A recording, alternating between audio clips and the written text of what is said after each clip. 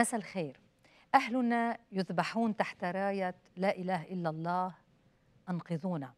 نداء سمعه العالم من فيان الدخيل عندما أطلقته في البرلمان العراقي خلال هجوم تنظيم داعش على قرى الأزيديين في جبال سنجار. هي سياسية عراقية أزيدية نائبة في البرلمان العراقي عن قائمة التحالف الكردستاني وهي عضو في الحزب الديمقراطي الكردي انتخبت نائبا مرتين ولم تترشح هذا العام. عرفت بدفاعها عن حقوق الأزيديين والأكراد. تسلمت جائزة برونو كرايسكي للعام 2015 في فيينا النمسا. عملت طبيبة ميدانية في مخيمات الأزيديين للاجئين. أهلا وسهلا.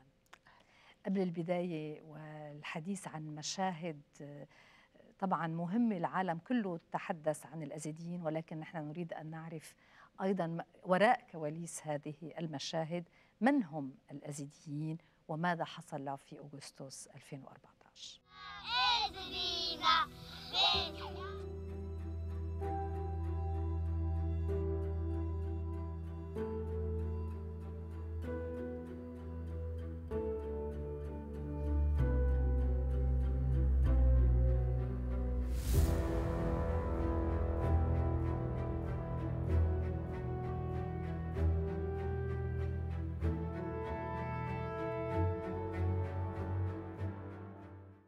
خلال حكم صدام حسين وحزب البعث العراقي كيف كانت حياة الأزيديين؟ يعني هل صار في اضطهاد؟ هل كان كنتوا تشعروا أنكم مواطنين درجة ثانية أم اليزيديين في زمن الحكم السابق لم يتعرضوا إلى الاضطهاد كديانة لكنهم تعرضوا للاضطهاد كونهم أكراد دمرت في في في عهد الحكومات السابقة دمرت آلاف القرى اليزيدية.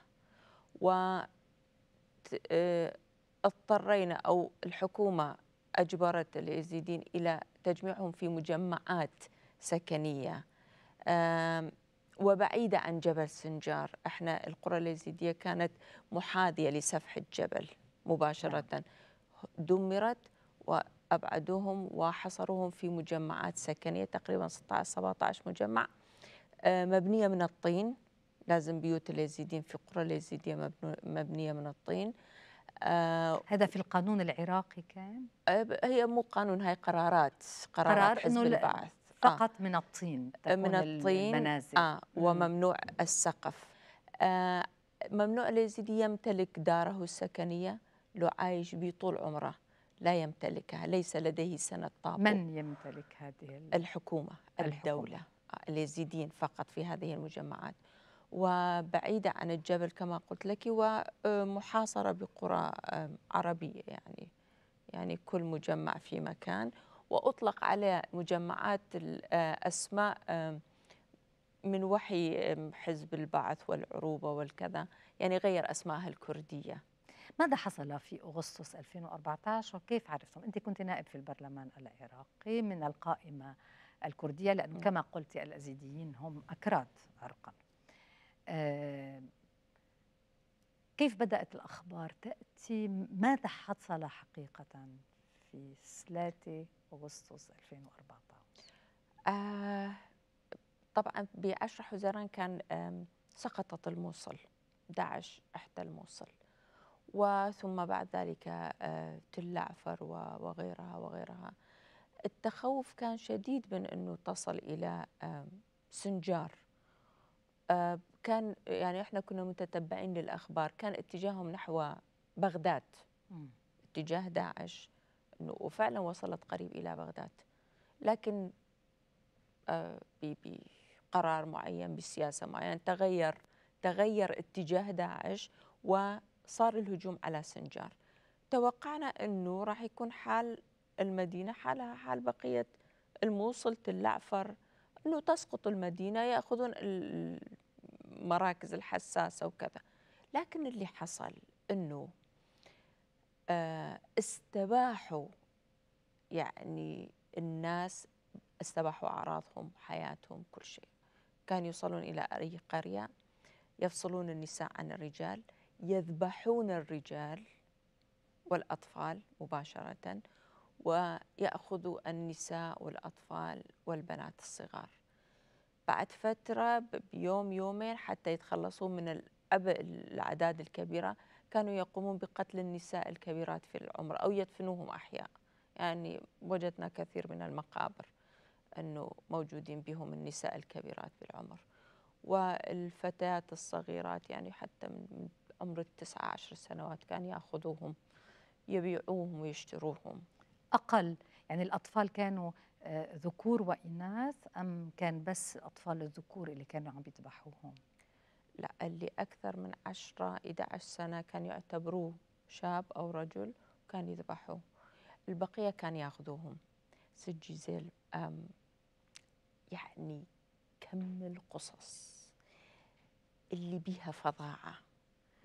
بطريقة التعامل هؤلاء الوحشيين مع اليزيدين ما تتصورين. كان يخلوهم بقاعات. يجي أي واحد داعشي يختار واحدة اثنين ثلاثة هذول إلية. ياخذهم. الأمهات تمسك ببناتهم صغار عشر سنين 11 سنة.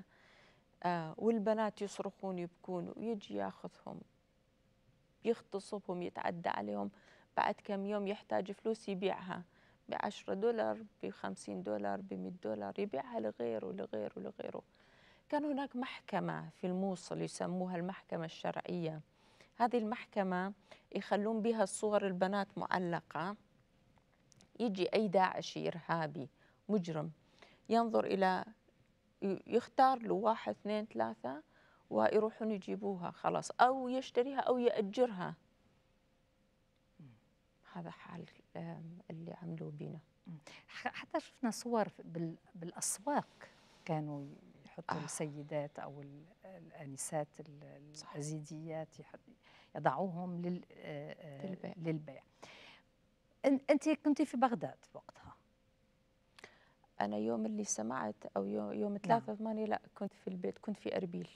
كنت في أربيل. آه كنت في أربيل. وبدأت الناس تتوافد أم كانت أخبار لا بدأت الاتصالات علي يعني يتصلون بي بشكل كان تقريبا الساعة 4 الفجر. تليفوني يرن يرن يعني طيب الساعة 4 الفجر من آه انتبهت. يعني أول بداية ما ما جاوبت على الاتصال ثم تكرر تكرر. عند الإجابة يعني بلغوني إنه صار كذا إنه داعش هجمت على سنجار. وتقوم بقتل الرجال وتأخذ النساء والأطفال وتوالت الاتصالات وتوالت الفظائع كان في ناس يعني آه، لا. آه، استطاعوا أن يهربوا ويتحدثوا عن هذا الموضوع أم لا. الأشهر يعني التي أتت فيما بعد عرفتم ماذا حصل لا لا لا إحنا عرفنا من أول لحظات لأن كان في اتصال نعم. تليفونات يعني لم ينقطع الاتصال لكن ما استطاعوا أن يجون لأن داعش حوطت يعني المنطقة اليزيديه من كل الاتجاهات. ما كان على اليزيدين أي مفر آخر إلا الهروب إلى الجبل. ما كانوا مسلحين؟ اليزيدين؟ نعم. لا. ابدا. شبابهم لم يكونوا لا مسلحين لا مدنيين مدنيين. اللهم مدنين. إذا عائلة عائلتين عندهم يعني شيء سلاح بسيط يعني مقارنة بالسلاح اللي كان يمتلكه داعش. لا طبعا أنت لا تنسين أنه داعش عندما أخذ الموصل سيطر على سلاح الجيش والشرطة اللي كانوا مسلحين أحسن تسليح. سيطر عليهم وأخذ سلاحهم. فبهذا السلاح جولة محاربة أنا بدي لحظة النداء الشهير اللي بنشوفه وين ما كان في اليوتيوب بدي قصته. يعني أنت تركتي أربيل ذهبتي إلى البرلمان. آه. ماذا آه ماذا حصل يعني؟ كيف بلشت الاتصالات السياسية؟ كيف بلشوا يتصلوا فيك؟ بمن اتصلتي ماذا فعلتم؟ والحالة بدأت يعني تصير واقع وظهرت إلى العالم. أنا سافرت مباشرة إلى بغداد حتى أعمل اتصالاتي بال السفارات المسؤولين يعني كنت كنا نحتاج شغلتين. اولا على الأقل إيقاف هالجرائم. ثانيا نساعد الناس. الناس كانت تهرب للجبل. كان شهر آب يعني درجة الحرارة فوق ال 45 درجة. والناس هربانة حفاة. يعني طيب مي أكل كثير من الأطفال ماتوا. يعني بالجبل كثير من كبار العمر وحتى الشباب إحنا بالعادة في البرلمان العراقي آه أنه لو عندك بيان لأي قضية لأي قضية أنه تكتبي البيان وتسلمي إلى رئاسة البرلمان تأخذين الموافقة نعم. يقرأ الرئيس أو النائب لو بيان يعني ما في أي إشكال آه يوافقون عليه مم. وافقوا عليه رئيس البرلمان ونوابه اثنينهم. ورجعت إلى مقعدي وانتظرت افتتاح الجلسة هذا يوم الثلاثاء كان يوم خمسة. يوم خمسة. يعني يومين بعد الجرائم. آه. انتظر والجرائم مستمرة. والجرائم مستمرة. نعم. آه طبعا بس أنا من من لحظة اللي سمعت إلى إلى وأنا دا أتكلم بالبيان أنا لم أتوقف عن البكاء رغم أنه أنا أروح وأجي وألتقي برئيس حكومة ورئيس وزراء ورئيس جمهورية وسفراء. ولكن إنه أنت كل لحظة تسمعين شيء كل لحظة تسمعين شيء بحيث يعني أصبحت في مرحلة إنه ما جاء استوعب يعني أحيانا توصلين إلى مرحلة دماغك يتوقف عن استيعاب. عندما تكون كارثة كبيرة تريدين أن لا تصدقين. ولكن هذا واقع أمام عينك. وتتمنين أنه لو لم يكن في في في خيط رفيع نعم. بين أنه ما تتمنين والواقع الموجود. على كل أنا انتظرت دوري آه بعد افتتاح الجلسة كذا الرئيس طلب مني أنه أن تتكلم. أنا أتكلم. فقمت إلى المنصة من مكاني لم أتكلم من مكاني. قمت ووقفت على المنصة منصة. حقيقة كل الزملاء النواب كانوا واقفين آه، يساندوني. يعني عندما آه، شخص لديه بيان وفي أشخاص تريد مساندته أو موافقته على البيان بيوقفوا. بيوقفوا إما معه أو في نعم. مكانهم. فكلهم كانوا واقفين معظمهم كانوا واقفين معي. سيد الرئيس نذبح يافطة لا إله إلا الله. سيد الرئيس لحد الآن خمسمائة شاب ورجل يزيدي ذبحوا. السيدة السيدة النائبة التزمي بالبيان الذي وافقت عليه سيد الرئيس نساؤنا تسبى. نساؤنا تسبى وتباع في سوق الرق. أخوان نحن نريد بعيدا عن كل الخلافات السياسية. نريد تضامنا إنسانيا. أنا أتكلم هنا باسم الإنسانية. انقذونا. سيد الرئيس أريد. شكرا جزيلا. شكرا جناب. آه بعد ما خلصت البيان اكتشفت إنه آه أنا كنت ناسي آخذ البيان معي. أنا مش كتبته وأخذت موافقة الرئاسة وجلست في مكاني. من قال لي تفضلي من هول إنه أنا مش مركزة مع نفسي فيمكن تلاحظين في أثناء حديثي مرتين رئيس المجلس يقول لي التزمي بالبيان لأن أنا كنت أتحدى شيء والورقة اللي كانت أمامه اللي هي نسخة من نعم. البيان كانت شيء آخر. هو نفس المفهوم. أنت رأيك هذا النداء حرك شوي أكثر يمكن بالسوشيال ميديا الناس؟ أولا أولا. من اتصل فيك بعد هذا النداء؟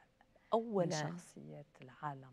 آم آه هذا النداء صار تسليط إعلامي عليه بشكل آه مكثف بحيث إنه أعتقد تم ترجمته إلى كل اللغات يعني صحيح.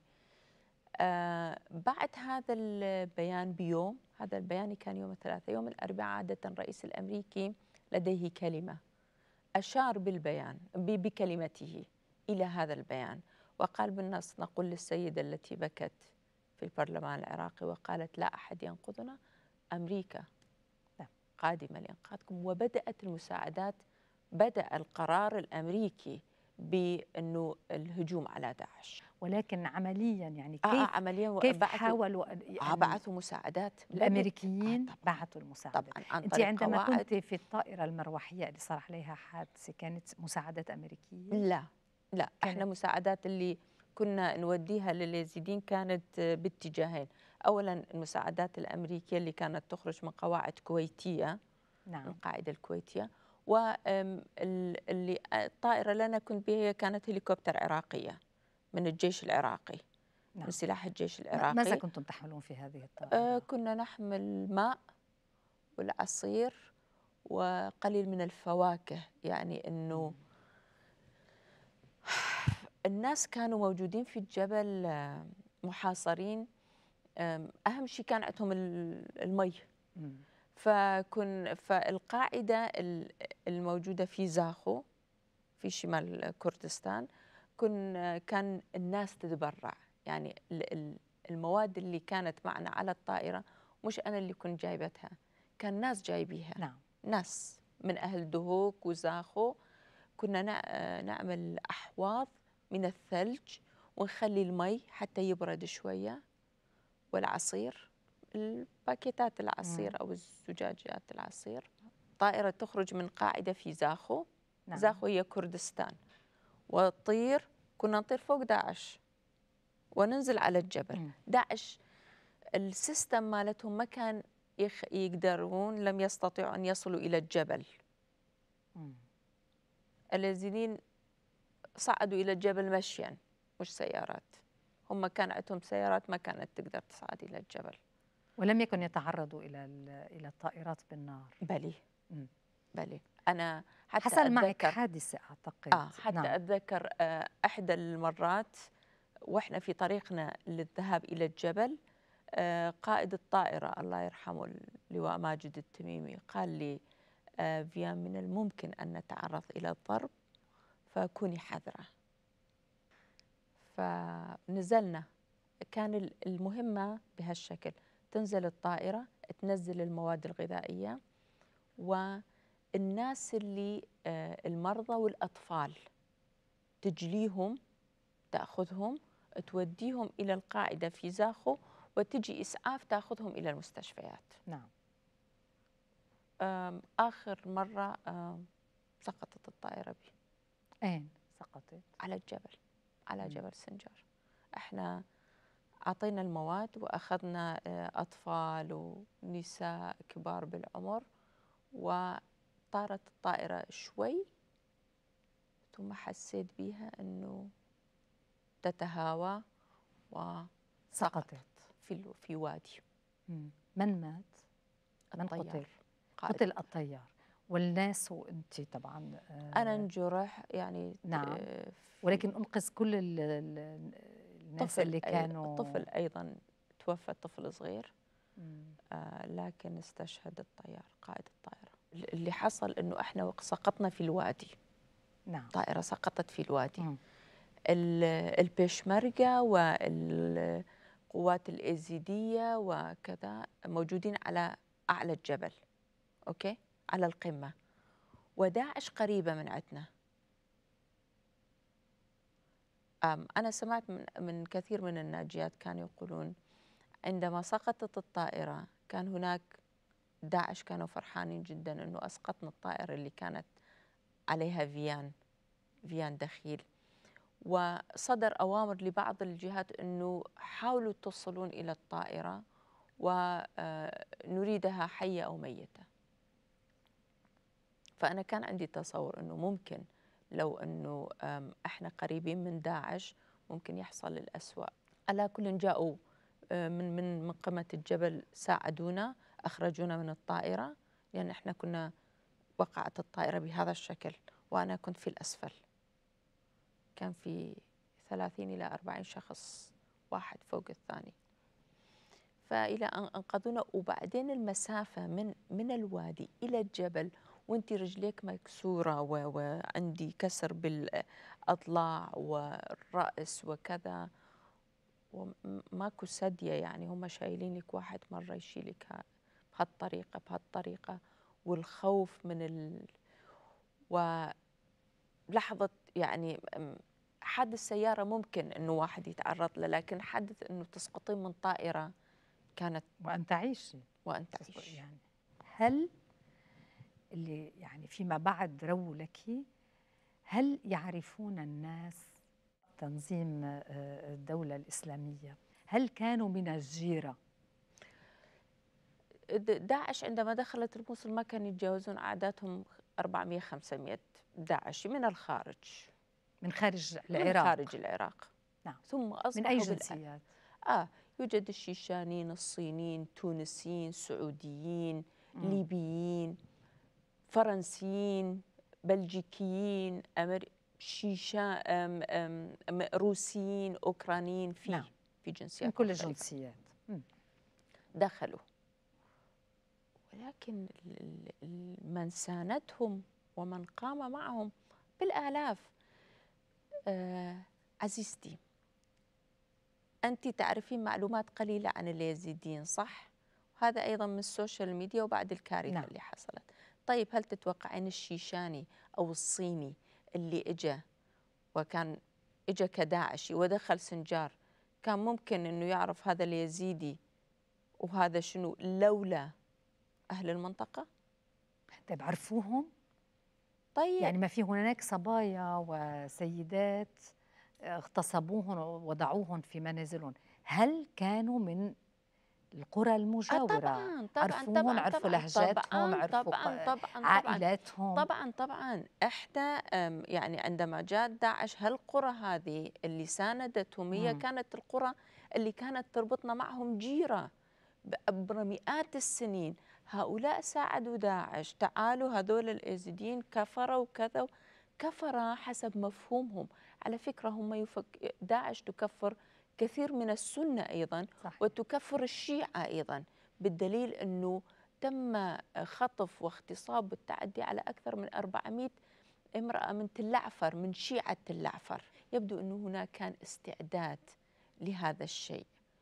آه هذا الاستعداد كيف تولد. حقيقة لا أفهم. كيف أنه ممكن هؤلاء الجار أن يتحولوا في لحظة إلى إلى مصاصي دماء إلى متوحشين لهالدرجة؟ واحدة من ال- القضايا اللي يعني تم التركيز عليها وغريبة.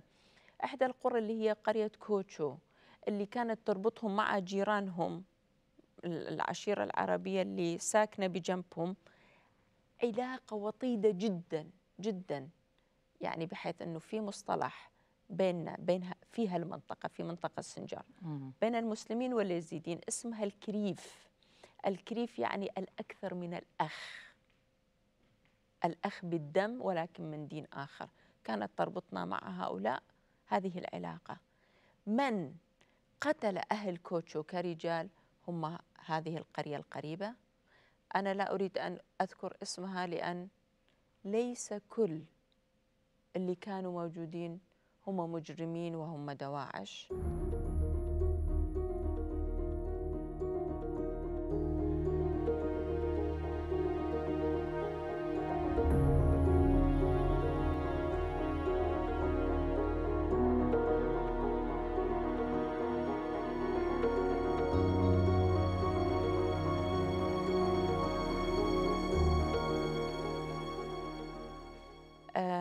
رئيس حكومة إقليم كردستان سيد نشيرفان بارزاني آه، أسس مكتب يسمى مكتب المختطفات هذا المكتب يقوم بمساعدة العوائل بإعطائهم مبلغ اللي يستطيعون فيه أن يقوموا بشراء مم. البنات ده كان سعر يعني بعتذر أحكي بهذا بس آه. شو كان سعر ال- حسب حسب الصبية أو حسب. السيدة للأسف أنه حسب يعني قد إيه للأسف أنه نتكلم عن شراء بشر.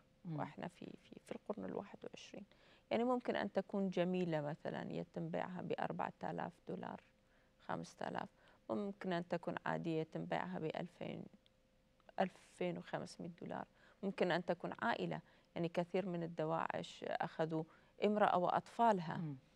آه، كيف كان يتم التسليم؟ ب- ب- وسطاء الكارثة الأخرى أنه الأطفال يعني أنا نفسي اشتريت أكثر من يعني مجموعة أطفال من دولة أخرى مش سوريا. وكنت أروح من أين؟ من إحدى الدول المجاورة. من تركيا؟ من تركيا. ونجيبهم. وتضعوهم في المخيمات. أسلمهم إلى أهلهم. أنت بعدين عملتي جمعية و- وانت اهتميتي لأن أنت طبيبة؟ لا أنا مش طبيبة. ولكن كنت طبيبة ميدانية. ماذا آه. يعني ذلك؟ يعني إسعافات آه، أولية؟ آه أنا أنا من عائلة طبية الوالد وكل إخواني وأخواتي. إحنا عائلة كبيرة إحنا تسع إخوة وأخوات. آه ف وأنا اختصاص آه أنا عندي ماجستير في المناعة مناعة ال- الأمراض. نعم. منع الدم. فكنت أروح أساعد وأخذ ال يعني أصدقاء أخ أخواتي أخو أخواني معي يعني. إيه، وان في المخيمات آه، في عملتوا هذا آه، آه، آه،. في المخيمات كان في رأيتي آلاف الحكايات آلاف الحكايات طبعا.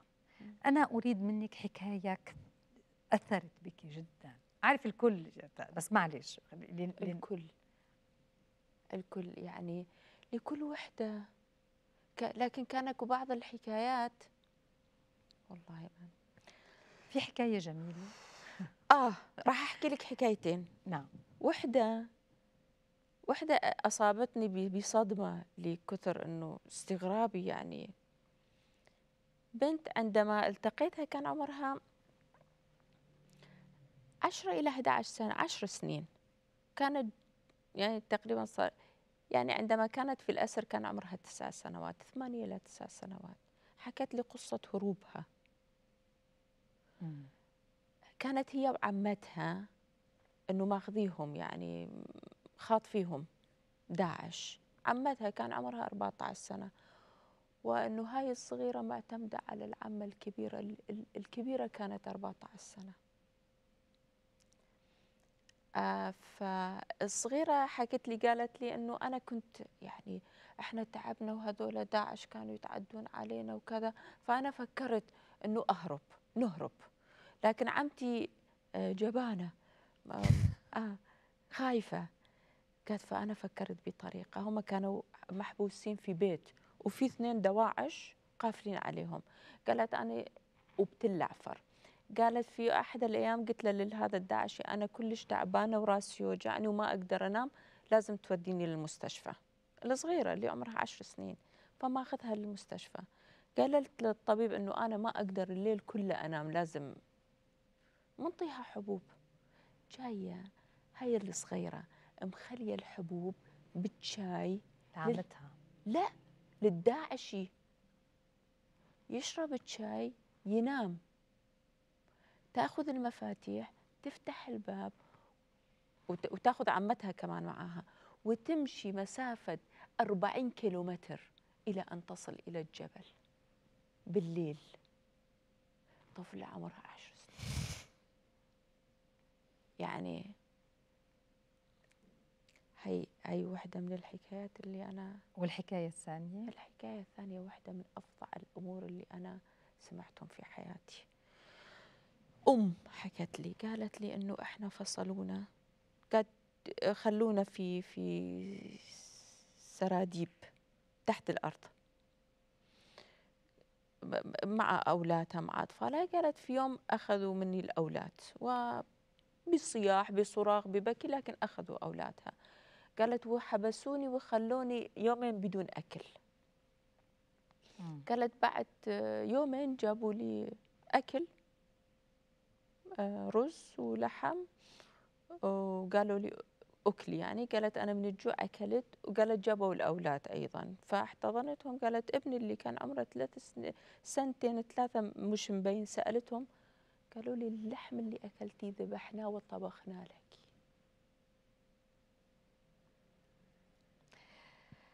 صراحة أنا قرأت هذه القصة ولكن لم أصدق. ولا أنا يعني. مم.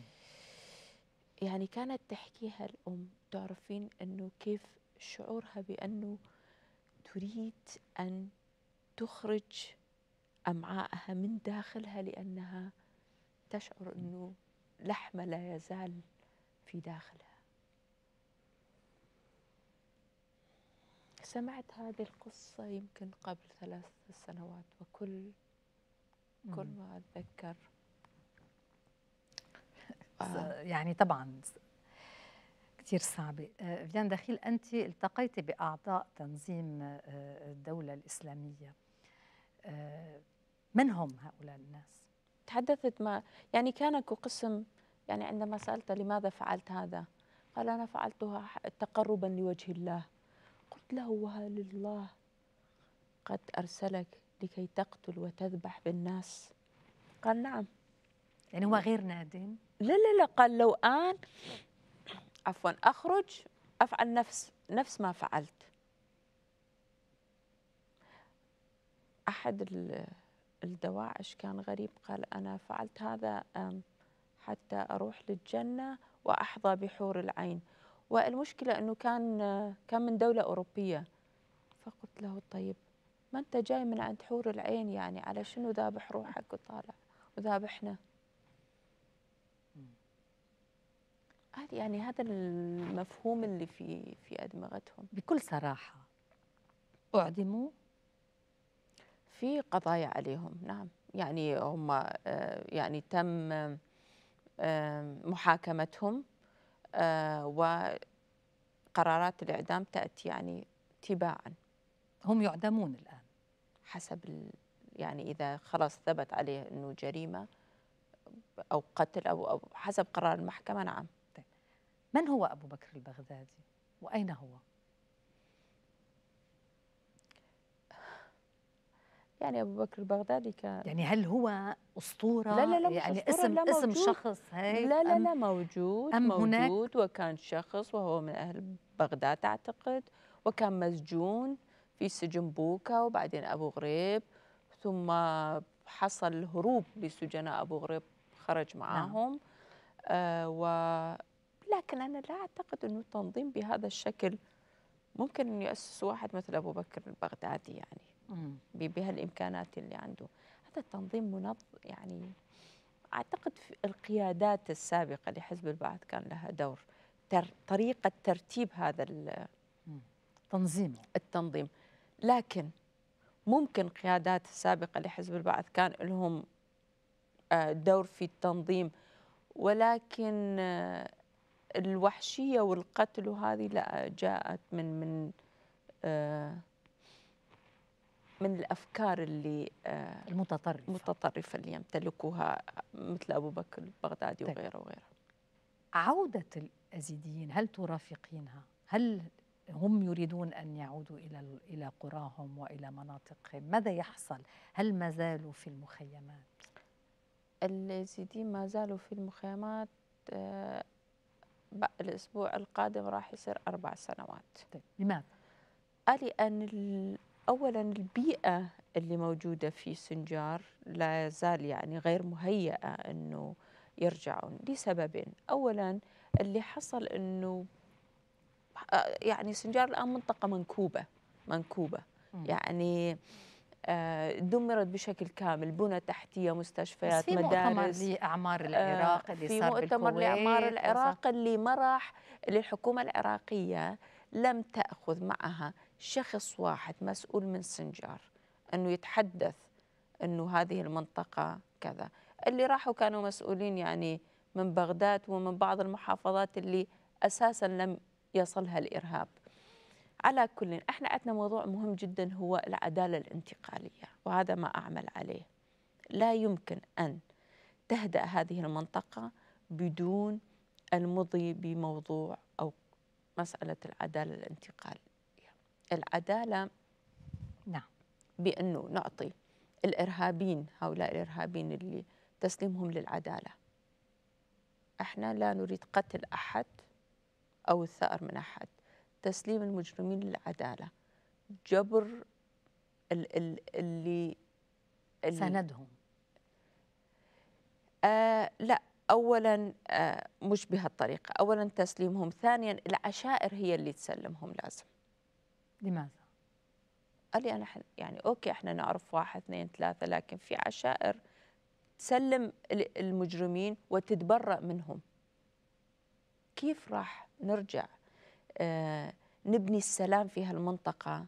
إذا إحنا بداخلنا غير متأكدين المقابل هل هو مقتنع بما حصل ولكنه الآن ساكت لأنه خايف أو إنه خلص إنه غير مقتنع؟ وإلا لا عودة للأزيديين وإلا لا عودة لأن.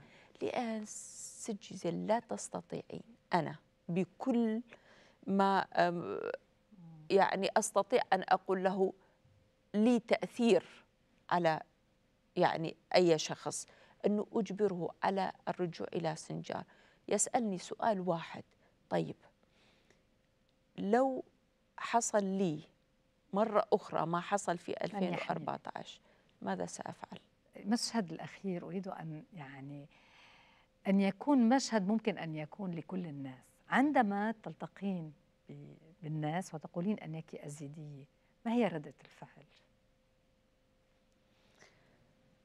قصدك خارج يعني خارج خارج. العراق طبعا سابقا قبل 2014 عندما كنت أقول أنا يزيدية كنت أسأل يعني شنو. يعني شو يزيدية الآن عندما أقول أنا يزيدية أول كلمة ربما أسمعها آه يا حرام داعش شو سوى معاكم فظائع آه، أعتقد كثير من الناس الكثير متعاطف مع القضية اليزيدية وهذا جيد. يعني أنا لست من نوع أنه آه، لا ليش متعاطفين معنا؟ ليه كذا. لا. هكذا قضايا يجب أن تستمر. نستمر في سردها في قولها. خلي تبقى في ذهن الناس في ذهن المجتمع الدولي في ذهن الحكومات. لأن قضيتنا لم تنتهي. ليست أنه هي معركة وانتهت. ما دام لا زال عندنا 3000 آه، سيدة امرأة لا يزالون مختطفين ومجهولين. مم. أين هم؟ إذا لا زالت ال- حتى الآن. حتى اليوم. نعم. آلاف الأطفال ضاعوا. لا نعرف أين. يعني كانت تجي امرأة مثلا من تل عفر من الموصل من هذه القرى تدخل على مجموعة نساء يزيديات مع أطفالهم. أنا بدي هذا وأريد هذا وهذا تسرق الأطفال؟ مش تسرق تأخذهم. هي الآن إحنا الدولة دولتنا وأنا أريد هذولا. هؤلاء الأطفال اللي كان عمره سنة سنتين ما ما يعرف يحكي بعد. لماذا؟ لبيعهم؟ لا لا للبيع؟ خلاص هي عاجبها يجوز معتها أطفال يجوز كذا تأخذهم. لعتها هسه هؤلاء ضاعوا لأن إحنا ما يعني ما يعرفون هم يتكلمون يقولون. ولا هذه ال- المرأة ممكن تجي تقول إنه هؤلاء آم، أطفال الزيدية أنا أخذتهم. أحيانا أحيانا يح يحصل إنه الأطفال الصغار من يلعبون مع بعض في المخيمات يصير اشتباك. اشتباك أو اتخانقوا أو تعاركوا بال- بالعراقي. حصلت حصلت معي أكثر من مرة. يجي طفل يقول لها والله أنت مو ابننا أنت يزيدي يعني يت- يتخانق مع أخوه okay؟ على اعتبار إنه أخوه. فينكشف إنه okay هذا فنلقطه. تصوري إحنا قاعدين نلقط أولادنا من عند هؤلاء المجرمين. هذا تخانق قال له كلمة هذا اعترف هذا كذا. أنت أم. نستطيع ممكن أن تشعري. نعم طبعا طبعا. أنا بقدر أقول إنه يعني هيدي المشاهد لازم أن نذكر بها دائما. ودائما راح إنه أذكر بها. هي هن في كارثة إنسانية اليوم. لا يزال. زال- ما زالوا في مقابر جماعية أيضا في تكتشف. مقابر جماعية تكتشف نكتشف أشياء مهولة. لا يزال اليزيديين 80 منهم نازحين عايشين في مخيمات. والحكومة المفروض كان الآن بعد أربع سنوات على الأقل بنت لهم بيوتهم يرجعون على الأقل يعني ساعدتهم. طيب على الأقل الحكومة أقصد الحكومة الاتحادية ساعدت في إرجاع هؤلاء الأطفال وال- وهي لم تساعد. لا. لم تساعد. مو متعاطفين. آه، أحيانا يعني بعض القيادات الأمنية نعم ساعدت يعني أثناء ال- الهجوم على منطقة بها داعش يشوفون يزيديات أو يزيدين نعم يعني نعم. هكذا حالات. ولكن كتبني هذه القضية الكبيرة من قبل الحكومة الاتحادية لا يندخل آه، أنت يعني شاهدة في هذا المشهد عن قضية إنسانية وكما قلت هي كارثة إنسانية شكرا لوجودك معنا. أنت تعملين على العدالة الانتقالية كما قلت. شكرا للمشاهدين لوفاء وإلى اللقاء الأسبوع المقبل